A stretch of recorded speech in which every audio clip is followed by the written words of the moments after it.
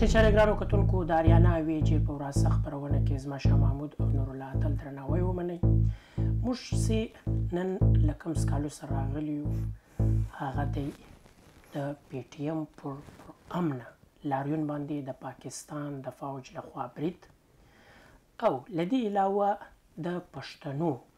څۀ کوم سياست دی په دې کې د پاکستان د رسنيو کردار؟ اتل صاحب د رياست يا سټيټ د دې ابتدا هغه وخت وسوه چې کله انسان په لومړي ځل باندې د خپل پايښت يا د سروائيول لپاره يو تنظیم جوړ کړ ځان یې منظم کړ په ټولنه کې نو که چېرته موږ ته وګورو د نړۍ څه کوم لومړي ښارونه او ریاستونه دي په دې کې زموږ ویاړ دا دی چې زموږ هم یو څو ریاست او ښارونه پکښې وو لکه باختر و باختر ته څه کوم دی په تاریخ کې د ښارونو مور ویل کېږي بلکې نو ښکاره معلومه ده چې د ښار ژوند وي نو له هغه سره خو ریاست هم تړلی دی د ریاستو او د ښارو مور ده دا نمنه اریانا دا ریاستونه چې کوم دي دا زرګونو کاله تاریخ لري. ریاست چې کله جوړ شوی دی، د ریاست په مرکز کې به پخوا باچا ناست و. د باچا هره خبره به قانون وه. باچا چې به په ولس باندې دا خپله خبره منله، نو ده به د لرګي، د تورې، د توپک، مطلب توپک خو وروسته راغلی دی منځ ته، خو ده به په زور باندې منله. نو د سیاسیات په ژبه کې چې کوم دی، ریاست فطري تور یو جبري وجود لري یعنی مطلب دا په جبر باندې په ولس باندې خپل خبره په زور په جبر باندې مني خو د زرګونو کالو په دا بهیر کې ولس هم خاموش نه دی کښېنستی ولس راولاړ سوی دی د خپلو حقوقو د دفاع لپاره او په ریاست کې دننه و ځان ته یو داسې ځای لټول چې د ریاستي د ریاست له جبره ځخه ځان خلاص کړي ډېر زیاته مبارزه یې کړې د ولس په دې کې ډېرو قربانیان یې هم دي زرګونو کاله تېر سوي دي خو په پای کې له نن ځاخه تقریبا دغسې خو د ولسواکۍ تاریخ ډېر اوږد دی خو لیکن دا کومه چې نننۍ جدیده ولسواکي ده چې جمهوریت ورته ویل کېږي نو په دا تېر دوه دوه نیم سوه کاله کې انسان یا په تېره باندې به زه د ولس خبره وکړم، ولس په دې باندې توانېدلی دی چې د ریاست چې کوم غاښونه دي د چیچلو یا د ده د هغه نوکان دي دغه یې ور واړه کړي دي او پر ریاست باندې ولس په خپله قبضه کړې ده او تر خپل اختیار تر واک لاندې یې اخیستی دی و دې ته په ساده ژبه کې څه کوم دی موږ جمهوریت ویایو نو د سیاسیات په زبه کې څه کم دی د جمهوریت په اصل کې درې تنبیه دي یا درې پښې دي موږ ته ویلای شو پر هغه باندې جمهوریت ولاړ په دې کې یو دی مکننه چې دوی لجسلیچر ورته وایي چې چېرته قانون جوړېږي دوم دا قانون سه پلی کوي و دغه ته ایکزیکیوټیو ویل کاږي او دریم هغه د مطلب یو اداره وي د یو جمهوري ریاست هغه سه هغه د دا قانون څارنه کوي سه په عام توګه موږ عدلیه لما محکمه ورته ویایو په دې وروستیو مطلب تیره یوه پیړۍ کې د سیاست پوهانو سه کوم دی دغو و ولسواکي له و جمهوریت ته یو نوی تنبا مړ کړی دا د رسنۍ رسنۍ څه کار کوي رسنۍ د هیڅ چا تر واک لاندې نه وي رسنۍ عموما ازادې وي د رسنۍ کار دا دی چې د یو جمهوري ریاست څه دا کمې درې تنبې دي دغه دوی څاري په دې کې چې په کومه تنبه کې خرابي وي نو دوی ولس په آزاده توګه باندې له دې خرابۍ خبروي او ولس په جواب کې راولاړېږي دا خرابي څه کوم له منځه وړي که چېرته موږ په پاکستان کې ورته وګورو په پاکستان کې چې د ریاست دا څلور تنبیې دي په دې کې پارلیمان دی پر پارلیمان باندې هم دا کوم سی د پاکستان ایگزیکیوټیوز دی مطلب دا کوم د ریاست سی کوم قوت ته یا زور دی سی موږ د فوج د پولیس لا د بیوروکراسي په شکل کې پیژنو دا دومره زور ورسوي دي چې پارلیمان هم تر خپل قبضه لاندې اخیستی دی محکمه د پاکستان محکمه په ډیر زیاته معذرت سره په نورو محکمو کې انصاف کېږي د پاکستان په محکمو یا په عدلیه کې چې کوم دی په ډېر زیاته معذرت سره هره ورځ په سلګونو ځله پر انصاف باندې جنسي تېری کېږي محکمه هم دغو خلکو په قبضه کې اخیستې ده رسنۍ په دې اخیستې حال دې ځای ته را رسېدلی دی ته یو څو ورځې له مخه په اسلام آباد کې یو ماشوم مطلب تر هغه حده پورې خو دا یو جنایت اوس یو چا بد کړي وه لیکن د پاکستان رسنیو او د پاکستان ریاست څه کوم کردار ادا کړه دغو پښتنو ته دا باور ورکړ چې تاسې زموږ خپل نه یاست تاسې پردي یاست تاسې زموږ سکني نه یاست په داسې حالاتو کې او بیا نن څه کوم د پی ټی ایم پر لاریون باندې کوم برید دی له دې څخه تاسو څه داسې مطلب هغه اخذ کوه چې د پاکستان د ریاست اصل کې د پښتنو په اړه اراده څه اراده ده اراده څه اراده داسې ده تا ډېر زبردست تشریح کړله خبره دلته دا چې به یو حواله ورکم مکیاولی ډیر مشهوره اټالوي فیلسوفر وو نو هغه د خپل کتاب د پرنس کې ډیره زبردست مشورې ورکړې دي باچا ته چې ته به یعنی غیر فطری سټیټ غیر فطری سټیټ هغه ده چې یو ولس یو قام یو باچا د نور ولسونو مزکه چې نیولې وي نو ته به هغه ولسونه څنګه تر خپل قبضه لاندې ساتي په دې باره کې نو هغه درې درې مشورې ورکوي چې اوله مشوره دا ده کوم ولس چې تا ونیو هغه ته تباه که داسې برباد که د هغو مځکې خرابې که د هغو ښارونه د هغو کلي مړه یې که مطلب ځوان ته مه پرېږده اول دا کار وکړه که دا کار دی وای له وسه نه پوره نو بیا هلته چاوڼۍ جوړې که په دا نیول سوي ولس کې نول سوی وطن چې ده په هغه کې چاوڼۍ جوړې که که دا هم نه سې کولای، نو درېمه مشوره دا ده چې دا خلک لږ لږ په واک کې، یعنی په سرکار کې د شریک قدرګډې که. نو دی دا وایي چې تر ټولو ښه مشوره هغه اوله ده چې دوی تباه او برباد یې که. دا اخري مشوره چې ده، دا وای ډیره چندان زوروره مشوره نه ده دا به سوکا سوکل دوی له تا سره سیالان کیږي په دا واک کې د شریکان سي نو تا دا پوښتنه وکړه ته د پاکستان اراده چی شي ده د پاکستان اراده دا ده موږ دا بیا بیا ویلي دي چې پاکستان یو غیر فطري هغه ده یو ارتفیشل سټیټ وي یو غیر فطری وي فیک سټیټ وي یعنی چې بالکل هغه جعلي او په دوکا په هغه باندې جوړ وي د پاکستان واکداران په دې باندې ډیر ښه پوهیږي دوی د میکیاویلی په هغه فارموله باندې لګیا دي دوی په دې باندې پوهیږي چې په پا پاکستان کې ډیر ولسونه دي بلوچ دی سندای دی پښتون دی نور دی نور دی په دې ټولو کې زورور چې دی هغه پښتون دی پښتونخوا ځمکه شاته افغانستان ډیورنډ کرښه په میلیونونو انسانان غرنۍ سیمه معدنونه زیرمې دا ټول یو ځای کې نو د پاکستان غیر فطری جعلي سټیټ ته له پښتانه ډیر زیات خطر دی نو دی دغه مکیاویلی په درو سرو فارمولو باندي يوه نه دوه نه درې دريم په درو سرو يو ځای دی عمل کوي دی له تېرو اوياو کالو کې د بربادۍ د ويجاړۍ د تباه کولو چې کوم عمل د دی دا هم کوي ورسره دی چاوڼۍ جوړي ډېر زوروري چاوڼۍ جوړې کړي دي نن هم لګیا د نوري جوړوي ورسره دی ځینه ځینه خلک د ملک په نامه، د یوه سیاستدان په نامه، د یو ګوند په نامه، د یو مذهبي مشر په نامه دا دی را اخلي تر پارلمانه پورې را ورسوي یا یې په خپل فوج کې ملګری کړي له ځان سره یا بل یو شی ورکړي نو دا درې سره فارمولې ده په یوه وخت روانې کړي دي اوس دلته نن د پی ټی ایم په په بڼه کې په شکل کې یو داسې شی راغی چې هغه د د درې سره فارمولې نه مني له دې سره په ټکر کې دی چاوڼۍ هغه درته چاوڼۍ دې نه منم پارلیماني سیاست هم نه کوم یعنی تا سره په واک کې داسې نه شریک کېږم چې ته یو یو څو کسان موږ د یو قوم په توګه باندې خبرې کوو او دا وژنې ورکونې زورونې وهنې بندي کول جینوساید دا خو بیخي نه منم نو هغه درې سره فارمولې دغه کړي دي اوس ماته داسې ښکارېږي چې د پاکستان دولت د د سرکار د د پوج اصل خو د د واکمن چې دغه نو د پوج ده دا داسې هغه په انګریزي کې یو خبره کیږي پانیک ورخطایي نو دوی په ورخطایي کې نه وسره پوهیږي کله ګزار وکوي کله یې راخپل کړي کله بل کار وکوي نو داسې یو په دوه درو فارمولو باندې دی لګیا ده چې یو طرف ته دی کوشش کوي چې دا پی ټی ایم سوکه سوکه د پارلمان خواته راولي یو سیاسي ګوند ورڅخه جوړ کړي له ده څخه ټوله زور ټوله انرژي وباسي سیاسي ګوند ورڅخه جوړ کړي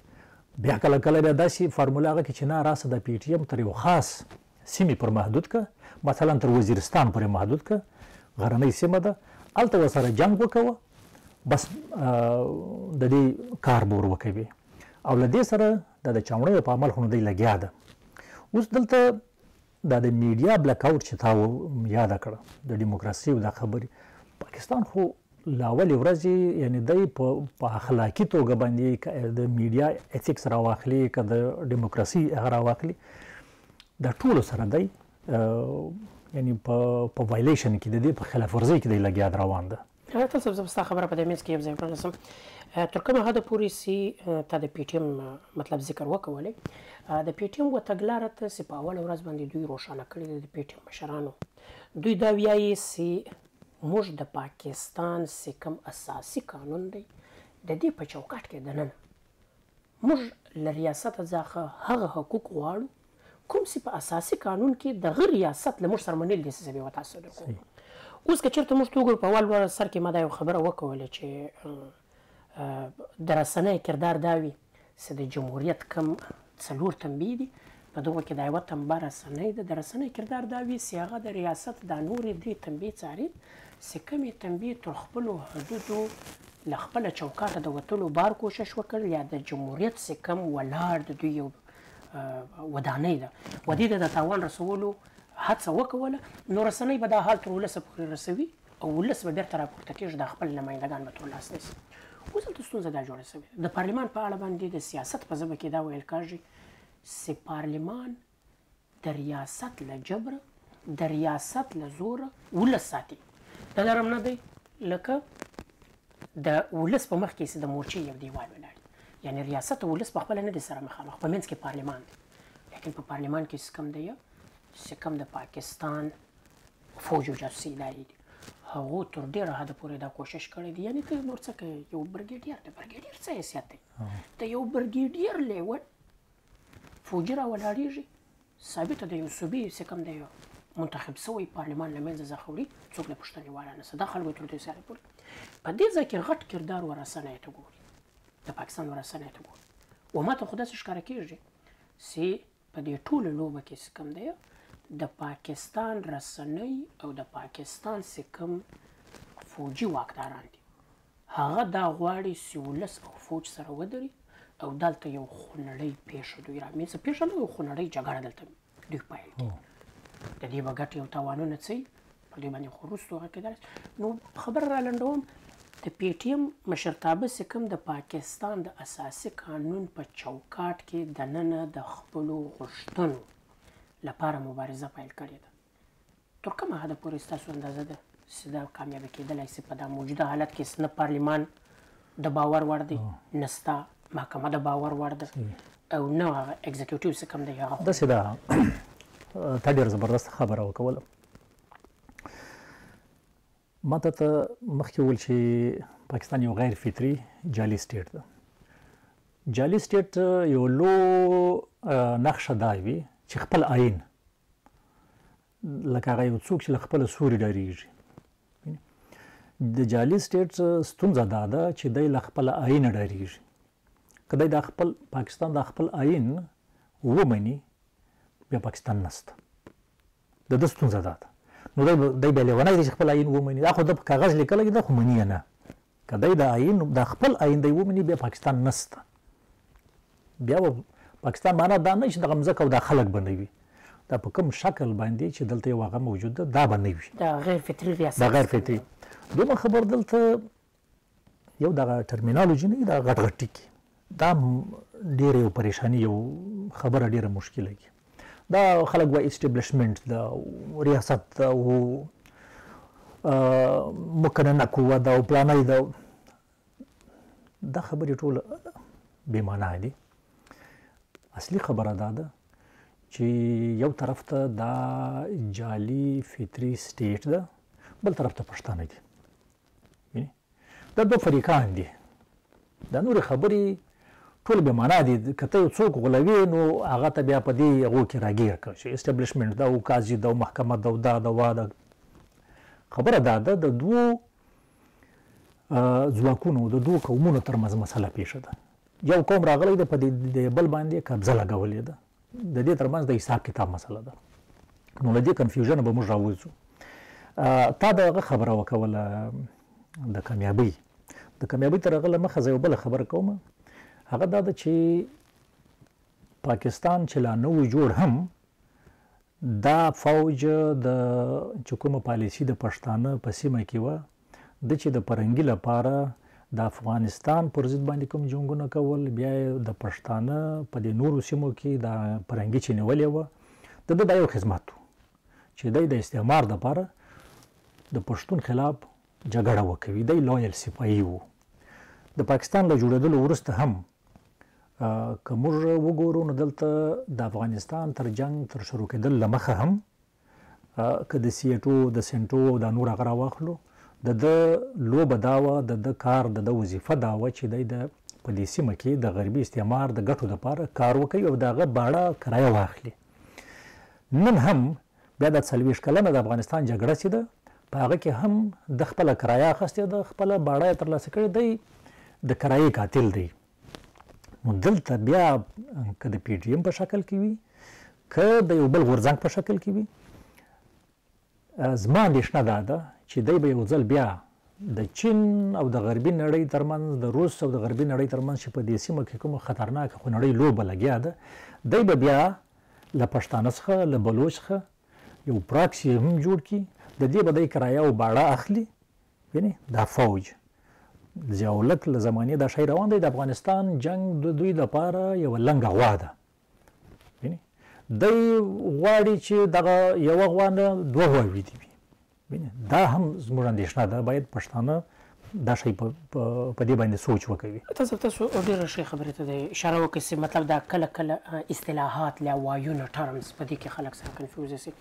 د دنيا جان اصول دا دی چې دوه کسان وي، که دوې ډلې وي، دوې کورنۍ وي، د دغو تر منځ کله کله داسې خبره شخړې ته ورسېږي، نو دوی سوکه سوکه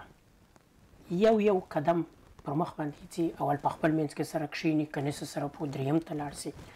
نو پښتون هم که څه هم دا اصطلاحات زه له تا سره اتفاق لرم چې بايد دا نه وي، خو ليکن هغه د تهذیب غه د ټولنې دا غوشتنه ده سه ته به اول ځې یار به ودته یادونه ورکوې سه دا زیاتوب مه کوه بیا به ځې پارلمان ته بیا به ځې محکمې ته دا ټولې خبرې اوس کمې دي او ما ته سه کمې ښکاري د پاکستان سه کوم د چا سه د اختیار واګې په لاس کې دي د پاکستان فوج او جاسوسي ادارې هغه له یوازې یوه پښتانه سره نه، په دا پاکستان نومي ملک دننه په پولو کې چې نور کوم قامونه دي، له یوه سره هم ناستې ته تیار نه دی. هغه دا وایي چې دا کوم حالت روان دی، دا ومنه، که تا اعتراض کولی چې دلته زیاتو دی، دلته زیاتو دی، د دې مطلب دا دی چې ته د دا ریاست ته دښمن یې، ته یې مردار یې، زه به له تا سره داسې چلند کوم. د انګریزي مطلب یو لوی لیکوال دی، د هغه یو قول دی. اصل کې خو روسای دی خو بهرحال یا یو مې ناټ بی انټرسټډ ان وار وار از انټرسټډ ان یو ته به جګړه نه کوې ستا جنګ او جدل ته به د وار نه وي جوړګر سره به غواړې نه خو لیکن کله کله داسې وي چې جګړه به تاله را روانې بیا به ته څه وسره کوي ما ته داسې ښکاري تا د دغه نړیوالو قوتو ذکر دم وکړي چې په سیمه کې دلته یو بله لوبه هم روانه ده په داسې حالت کې چی د پاکستان د اساسی قانون په چوکاټ کی دننه سی پښتانه لیا نورو قامو کمی هلی ځلی کړی دی سی دا خپلی خبری مطلب دا کمیو ستونزو سره دوی مخامخ دی د پاکستان له ریاست سره دا هوار یی کی په دی کی دوی ندی بریالی سوی او داسی ښکاری سی د پاکستان ریاست غواړی سی دالته یو بله خونړی جګړه شروع کړی. په داسې حالت کې له پښتانه سربتېره کومه لاره ته وینې؟ هو، له پښتانه، ګوره، وایي غر کار څومره لوړ ده پر سر یې لار ده. له پښتانه سره ډېرې لارې دي. لاره دا ده چې اول پښتون نوښت په خپل لاس کې واخلي. بل چا چې دښمن چې کوم د لوبې ډګر جوړ کړی دی ته په هغه کې لوبه ونه کوې پښتانه چې تر اوسه څه بایللي دي موږ توان دا کړی دی چې د لوبې ډګر هم د جوړ کړی دی د لوبې قوانین هم د جوړ کړي دي په لوبې کې د ګرم او د ماندور واک هم د لده سره ده زه صرف لوبه کوم نو دی ما زغلی را زغلی مې نو هغه لوبه خو زه نه سم ګټلی پښتانه به نړیوال حالات هم په په په په پام کې نیسي ځمکني دلته د سیمې حالات به هم په په پام کې نیسي په افغانستان کې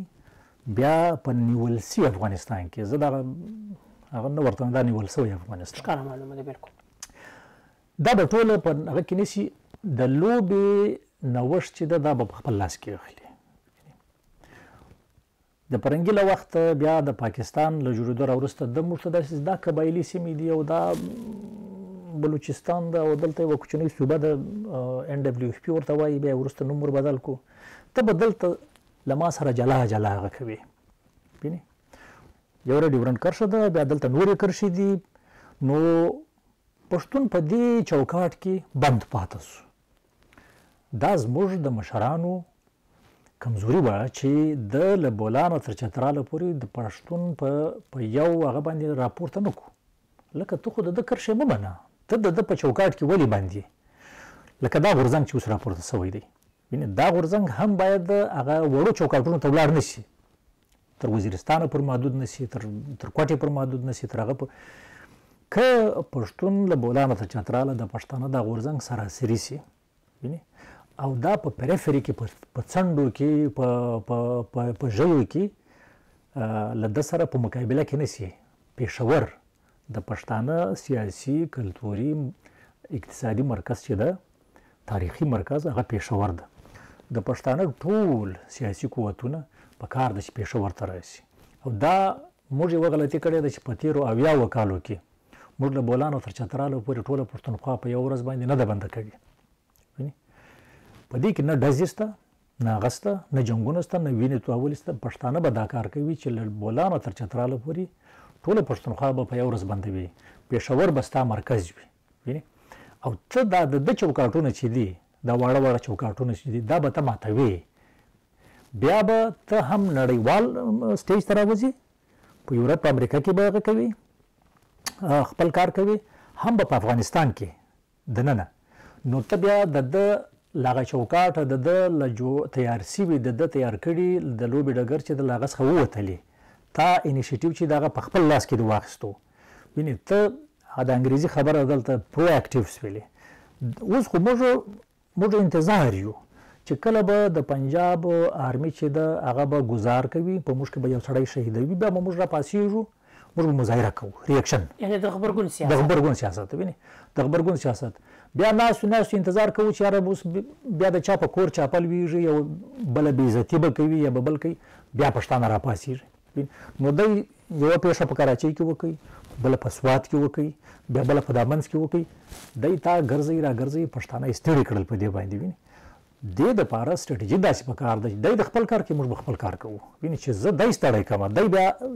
چې له ده لاره ورکه شي او دی بیا کور ته ننواتی راشي چې یار له ما سره فیصله وکړه. نو ستا څه خیال دی ستا ایا په دا اوس موجوده حالاتو کې چې زموږ کوم سیاسي مشران دي یا سیاسي چې کوم زموږ سازمانونه دي،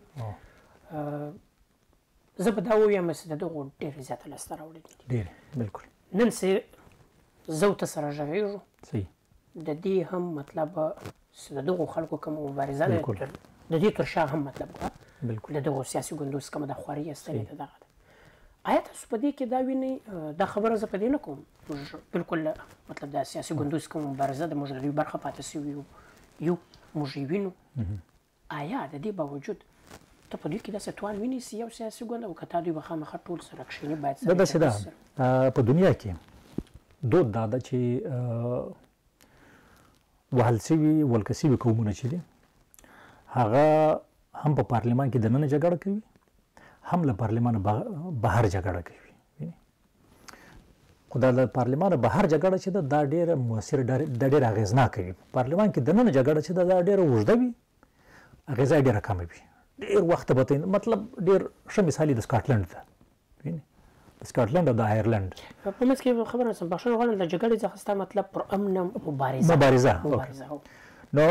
سکاټلند درې سوه کاله مبارزه وکوله پوره درې سوه کاله خو په پارليمنټ کې دننه نو درې سوه کاله ډېر اوږد انتظار ده ازادي د دوی لاسته راوړنې هم ډېرې دي خو په دې منځ کې دوی خپله ژبه وبایلله خپل شنا خپل کلتور ډېر درې سوه کاله په خپله ډېر لو موده ده خو آیرلنډ څه وکول آیرلنډ هم په پارلمان کې دننه مبارزه کوله ایرشان چې ول هم له پارلمانه بهر هغو داسې یو دم په یو څو کاله کې ملک هم آزاد کو او دا پاته یوه ټوټه چې ده د هغې لپاره هم دغه کار روان کړی ده پارلمان کې دننه هم له پارلمانه بغیر دا که موږ کردان وګورو که نور خلک وګورو نور خلک وګورو د دنیا ټول خلک په دې لګي د پښتانه تېر اویا کاله یوازې پارلمان کې دننه و. په پارلمان کې دننه چې کومې لاسته راوړنې د دوی وې موږ د دې څخه انکار نه یو انکار نه سو کولای خو لیکن زموږ دا لو مورچه چې وه دا خالي وه دا مورچه که پښتانه داسې وساتي بلکې داسې ساتل نه تر دې نور منظمه کی په دې کې بهتري راولي په دې کې د پاکستان اقتصادي مجبوریانې وګوري د پښتانه ځواک چې ده د ځوانانو د مټو پښتون خپل هغه وګوري نو زما په دې باندې سل په سل کې باور دی چې پښتانه دا مبارزه ډیره زر ګټلای شي یعنی نن یوشتمه پیړۍ ده پښتانه په بهر کې هم ډیر دي میډیا هم ډیره زوره وره ده دا زه په دې باندې باور یم چې پاکستان وارخطا دی. پاکستان له دوی سره اوس داسې فارمولې هغه کوي چې یاره تاسې دا شی پرېږدئ، زر ته زر یې ختمه کړئ، بېرته هغه پخواني هغه ته راسئ. دغه اویا کاله چې تاسو څنګه له ما سره کوله، بېرته هغه هغه ته راسئ، هغې لوبې ته راسئ. په دې کې خو یو بله خبره هم راځي، و وخت ته که چېرته وګورو، و حالتو ته چې موږ په کوم نظر باندې ګورو، ما ته داسې ښکاره کېږي چې موږ د نولس سوه د اتیایمې لسیزې په رنګ چې کوم د سوویت یونین او د لویدیځ ترمنځ چې کومه سړه جګړه وسوه او د دې د دې سړې جګړې هغه توده برخه چې کومه وه زما ستا پر وطن وه اوس یو ځل بیا حالت هغه ځای ته رارسېدلی دی زه چې ورته ګورم داسې دی لکه هغه د انګریزي یو متل دی یعنې د راتلونکي وخت پېښې چې کومې وي د هغو سوري ته تر له مخه وي موږ چې کوم سوري وینو له دې څخه داسې ښکاره کېږي چې موږ الریډي د جګړې په درشل یعنی مطلب درشل څه کوي پکښې ولاړ وي دننه نو په داسې حالت کې ستا څه خیال دی چې دا کوم سره کښېنستل زموږ د سیاسي کوتو که دا د لر دي که د بر دي په پښتونخوا کې دننه دي آیا پښتون قام یو څه نور ځنډ د دې جوګه دی که نه دی؟ ايا له موږ سره دومره وخت شته چې موږ چېرته لږ نور دا ناسته وځنډوو نو نه کته نه فورا باید سي په دا مسله کښینو ولې حالت ډیر خراب نه حالت خو ډیر خراب ده ګوره موږ څه خبر یو خبر یو خو لږ تحقیق غواړي د پښتانه چې کومه خاوره ده د قبایلو دا د مرجر خبرې او دا د انضمام خبرې دا وا د دنیا ډیر لوی لوی کمپنیانو د دې پاکستان سودا کړې ده اوس پښتون خبر هم نه ده ته چې په کومه خاوره اوسېږي تر دې لاندې چې کومې خزانې پرتې دي هغې سودا هم سوې ده نو پښتانه د دې دپاره وخت نه لري خامخا به ستا انټلیجنسیا ستا سیاسي مشران ستا ډایسپورا ستا لیکوالان ستا سیاسي ورکران دا به ټول کښیني په دې ټولو خبرو به غور کوي چې د پاکستان د سټیټ اراده چې شی ده موږ ته او په کومه توګه دای ما ختمول غواړي دا غورځنګونه ستا سیاست دی څه ډول ختمول غواړي د مکیاویلی هغه فارمولې استعمالول غواړي په پراکسی وار باندې بیا د کرایې د پاره غرض کوي زموږ د زیرمو مسله ده افغانستان کې د د سټریټیجیک ډپت خبره ده ډېرې خبرې دي په دې په کار ده چې موږ سره جرګه سو د دې حل راوباسو په مطلب ګوز ما استاد د نن خبرو لنډیز دا راووتلی چې پاکستان سی و ځان ته یو ولسواک مطلب یو جمهوري ملک وایي د جمهوري ملک څخه کومې لارې چارې دي پر هغه باندې د یوازې له پښتانه سره نه له هیڅ قام سره د یوه غته غاړه نه ږدي، خپل اساسي قانون نه مني او موږ ته داسې ښکاره کېږي چې د پاکستان چې کوم د اختیار واله مطلب چې اختیار او واک یې په لاس کې دي، چې فوج دی او جاسوسي ادارې دي، و موږ ته داسې ښکاري چې دغو یو ځل بیا داسې ماحول او چاپېریال جوړ کړی دی چې په دې سیمه کې زموږ پر خاوره په تېره یو جګړه جوړوي په داسې حالاتو کې د رسنیو د پاکستان د رسنیو دا کردار جوړېدی چې دوی دا نور ولسونه هم د پښتانه له حالته خبر کړي وای چې پر دا کوم د اختیار واګ یې چې په لاس کې دي کوم خلک چې یو بد نیت دا خاوره دا ولس ته لري چې پر هغو یې لږ فشار راوستی وای چې تاسو دا کار مه کوئ د رسنیو هیله هم زموږ ختمه ده رسنۍ پر ځای د دې چې هغه رښتیا و نورو ولسو ته وښکاره کړي دوی د هغه پر ځای باندې یعنی الټه پښتون د یو دشمن د دې سیمې او د دې ملک د دشمن په توګه باندې هغه کوي نو په داسې حالت کې چې له موږ سره نورې لارې تقریبا تقریبا د پاکستان ریاست یا د پاکستان د مطلب کوم اسټابلیشمنټ دی د هغه لخوا پر پښتانه او پر نورو قامو باندې نورې لارې بندې دي نو دا یوه لاره پاته ده چې پښتون ودې ته مجبور دی. دلته یو خبره زه کوم دلته یو خبره زه کوم چې له پښتانه سره یوازې د پښتانه سره نه له ټولو قومونو سره د احتجاج د مبارزې یوازینۍ لاره دا نه ده چې موږ جلسې وکړو یعنی د احتجاج د خپل حق غوښتلو د مبارزې له دولت سره له سر له زورور سره د ټکر وهلو یو څه لس لارې نورې هم شته ډېرې موثرې لارې دي موږ په کار ده په ځای او په وخت باندې دغه ټولو څخه ګټه واخلو نو ته څه کوم مطلب پښتون او د نور قومونه د دوی راولار سي پر ځای د دې سي دا کم کرښې دوی راته استلې دي په کوم لارو دوی موږ زغلول غواړي یعنی د دوی په پر ډګر باندې سوی موږ لوبول غواړي دوی باید ځان له دې راوباسي او خپل مطلب راتلونکی او خپل موجوده وخت په خپل لاس کې واخلي او په یو نوې لاره ولې سي حالاتو ته سي موږ ګورو پاکستان نور د اوسېدو وړ ملک پاتې نه دی ډېره زیاته مننه قدرمنو لیدونکو تر بلې خپرونې پورې و موږ ته اجازه راکړئ ښه